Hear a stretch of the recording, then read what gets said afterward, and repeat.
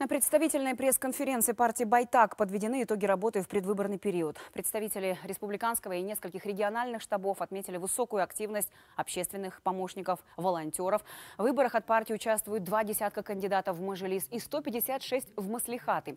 Во время предвыборной агитационной работы партийцами проведено более трех с половиной тысяч мероприятий, свыше 15 тысяч встреч с общим охватом 550 тысяч человек. Большинство полученных наказов и предложений уже обработаны, остальные еще планируется в дальнейшем изучить и включить уже в электоральную программу партии, а также в повестку дня очередных съездов.